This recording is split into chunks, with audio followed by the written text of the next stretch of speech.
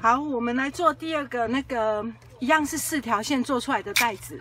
那刚刚我们做了一个这种四条线做的袋子，你看整整烫完之后就是非常的漂亮，对不对？好，就是很简单。那另外这个的袋底呢，它是开的，那还可以做袋底是合起来，只是折法不一样。那因为一样是还蛮简单的，因为我刚刚发现那个好像只有十几分钟而已就拍完了，所以我再来拍第二个。那第二个的话呢，就来一样，第一条线呢，我们第一条线下面先把它车车起来。哎，这边可以来。好，第一条线是这样，然后呢，我们就可以做装饰线。装饰线先把它扯起来。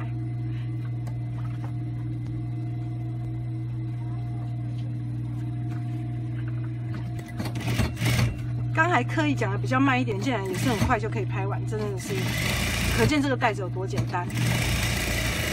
不要喂卡多嘞，喂。拿一下剪刀，我剪刀好像拿过去那边的样子，然后在那边的桌子上，每个铁疙瘩过来。谢谢你呀。好，然后呢，我们这样子车车完之后呢，压完线是第二条线，对不对？所以我们一样对一下。那我们接下来呢，就一样开始来折一下我们的所需的这个长度，好，所需的这个厚度。那一样，我们刚刚说过，这个高度呢，就是你要的高度的一。二三四四倍之后，再加上一个带盖的这个高度，所以是一二三四加上带盖。好，所以我们再折的话呢，就是这样子，看我们所需要的，你本来量的这个尺寸的这个带盖，或者是说你可以这样子盖盖看，看你这样 O 不 OK？你 OK 的话就好啦，只要钱放得进去就可以啦。像这样子，然后呢，两边对称好，然后再把它折起来，像这样子。把它折好对好之后呢，我们就用什么东西嘞？强力夹把它夹起来，两边都夹起来哦。为什么要两边都夹起来呢？因为我们还要来量一下这个高度有没有刚刚一个好。好，如果刚刚好的话呢，有两边有一样长的话，好就可以了。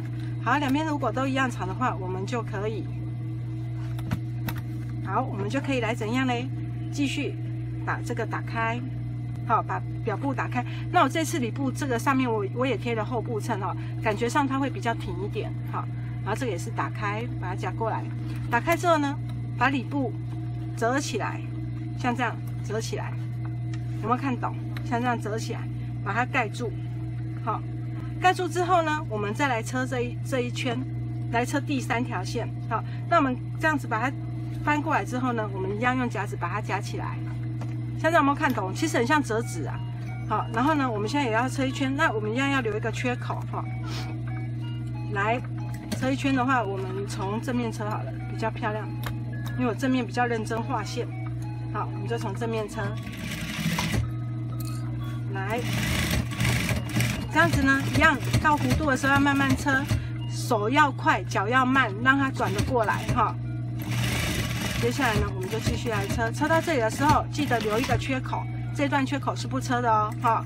那不车的话，我们就是把它剪断。接下来再继续，你不车的话，中间留缺口的话，你前后都要记得要回针哈，回针。然后呢，回针之后，我们再继续往往下车，车到这里，这是第三条线，第三条线比较长一点点哈，还要车到旁边来，这样，车完之后。接着呢，我们就把这个圆弧的地方剪牙口，好，剪牙口，像这样，让我们的弧度呢不要那么的挤，让那个里面的缝缝不要那么的挤，这样就好了。这看起来好像很困难，其实简单的不得了。真正我以前都说过，刚偶一点关攻破攻破的 get，但就是像这样子的。好，那只是说有时候。这个也不会很难啊，跟大家分享一下。如果你想做的话，你就可以试。旁边如果剩那个长长一条的布，你就可以来试试看。好，我们一样要翻到正面哦。那我们要翻到正面，我记得我怎么说吗？我们翻到正面，记得从角角边边的地方开始翻。好，从边边开始翻过来。好，让这个角角先出来，然后其余的我们再来慢慢的抓过来。那全部最困难的点，这个这个整个都很简单。其实这个也不不不难，只是说。以比例来说，以这个状况来说的话，可能全部最难就是在翻这个吧，就是慢慢的把它翻过来。那翻过来其实也没有什么难的，如如果你连这个都不会翻过来，那我也没办法，就是请你慢慢翻。好，来，我们就这样把它翻到正面来。所以你的带盖呢，也不一定是要做这个三角形，你可以做直直角或做什么角都随便你哈。你们做水饺，哎，我小时候还会跟我妈妈一起包水饺，哎，现在包都几百年没有包过了。好，我们一样呢，把这个边边角角的地方打开来，用按按过来之后把它拉出来，它就会很漂亮。